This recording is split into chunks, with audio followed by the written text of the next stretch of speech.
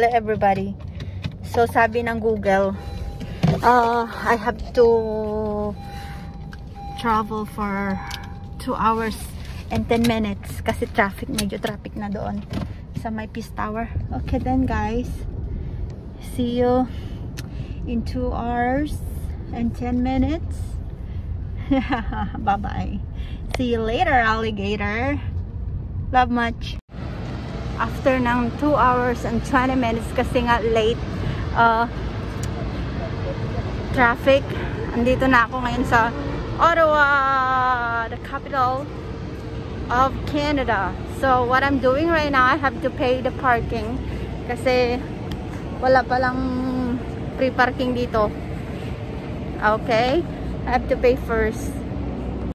Due to COVID-19 hindi na pala sila naglalagay ng tao dito sa may mga booth dito. Kundi by apps na lang. Yan. By apps or to.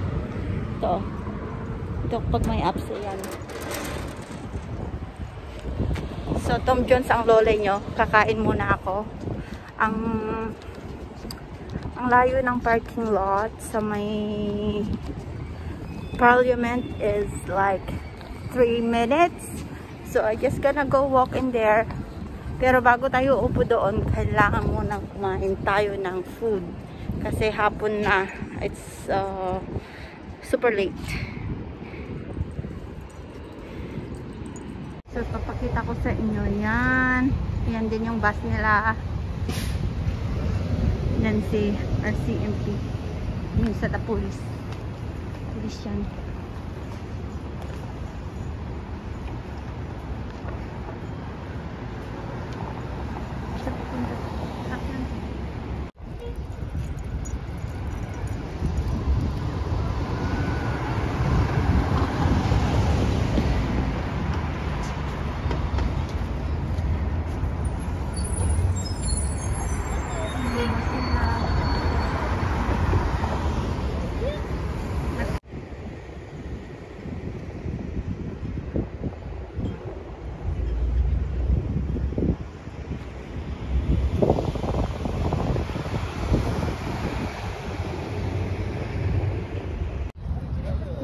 To Ottawa, the capital of Canada, and it's in the province of Ontario.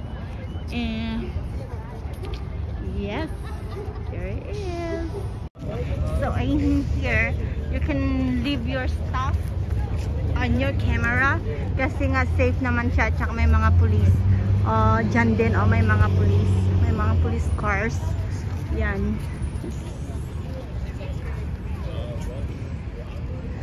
have to take a selfie first. Okay? Ayan, nagpe-perform na sila dito.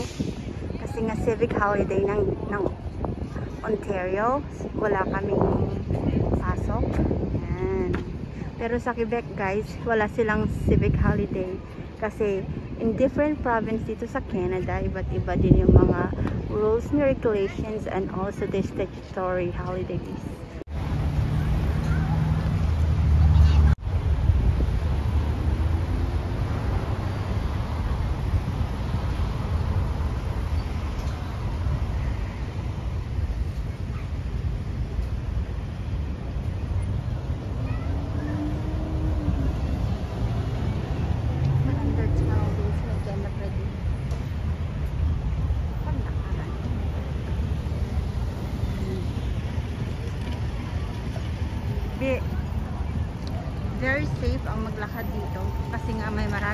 Police at saka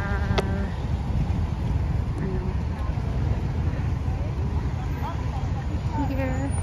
Now just be careful when you are crossing guys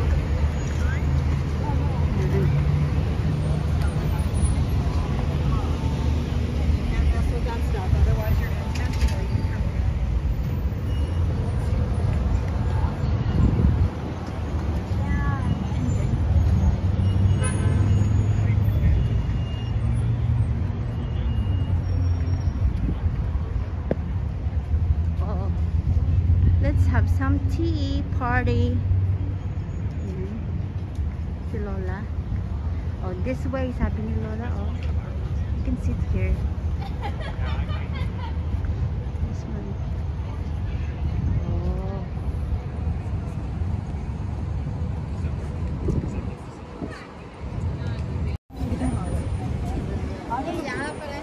हाँ इधर बता दो मैं मेरा दिल यहाँ जाता है So ngayon guys, mag-isa ko lang dito sa Ottawa na naglalakad ngayon. Kasi umuwi na yung mga kasama ko at saka um,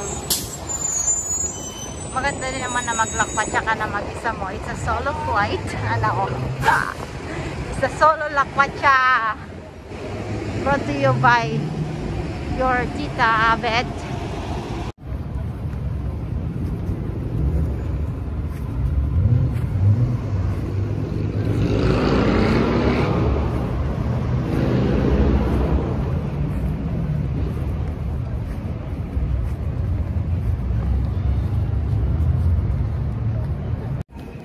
Dahil hindi ko mahanap ang kanilang food court. I have to go back. Hindi ko kasi alam talaga as in luwang. Finally nahanap ko na yung kanilang mall na malapit dito sa may parliament. Ang parliament guys ay katumbas ng White House sa USA Malacanang Palace sa Pilipinas naman So, mamaya, kasi kakain muna ako, papakita ko sa inyo yung parliament, pero hindi tayo pwedeng pumasok doon, doon lang sa labas. Also, I'm gonna show you the canal. Okay? Whee! Diba ang ganda? Welcome to Ottawa, guys. Welcome to dining hall of Ottawa. Ang tawag nila dito guys ay dining hall dito sa food court nila. Sa amin, we call it food court. Okay, maghanap tayo ng food. This is one of my favorite, the Delicious. Uh, meron din kami nito sa Toronto, sa Eaton Center. Uh, hindi ko alam kung anong kakainin ko, pero have to find something. Oh, okay. Ang napili ko ay Jimmy the Greek. Oh, hi. Oh, ate, Tagalog ka pala. Gusto ko yung ano te, roast chicken meal. Oo, may rice? Gusto Oo, pwede? Walang ano te ha, walang onion. At saka te, ano, bakit ano ka? Wala, wala ding olives, please. Yes, please. Oh, Tagalog si ate. Hello, ate. Ng Jimmy the Greek ng Ottawa. Toronto, te. Toronto. Toronto, te. Ngayon lang, te. Ah, oh, pauwi na ako. Te, galing ako ng Quebec. Oo. Ah, thank you po. Pangasinan. Pangasinan po. Okay, ate. Take care po. Just one chicken spaghetti meal. Yeah, two roasted chicken. Yan. Everything, please.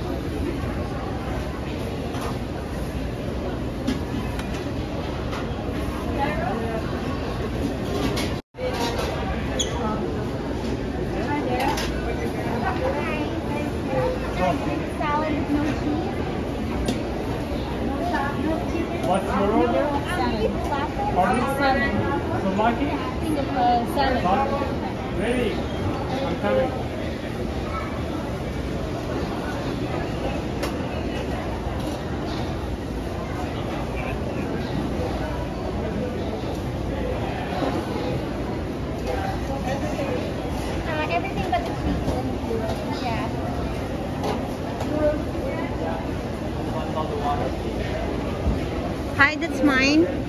Potato, please. No this.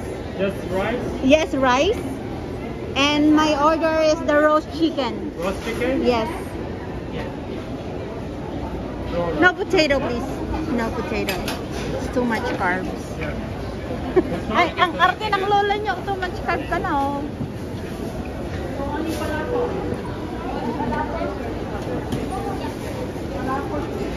Oh, binigyan ako ng extra ni ate.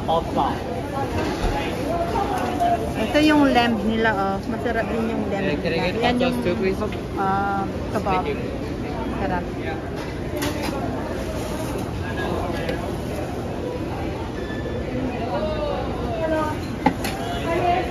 Hindi ako kakain dito sa may food court nila kasi idadalhin ko kayo sa isa sa pinakamagandang part ng Ottawa, doon sa may canal. Doon ako kakain. Hopefully pwedeng kumain doon kasi it's been long time na hindi ako nakapunta doon. Napunta kami doon with my friends noong 4 years ago pa.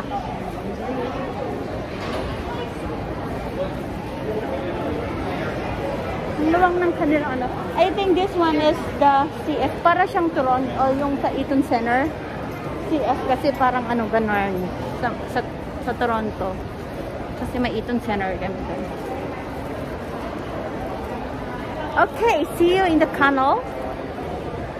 Doon sa canal guys, ano, ginagamit nila yun na pang ice skating pag winter at kasi may river doon. Kaya dadalhin ko kayo doon. Ha? Okay. Balikan ko kayo. Stay tuned.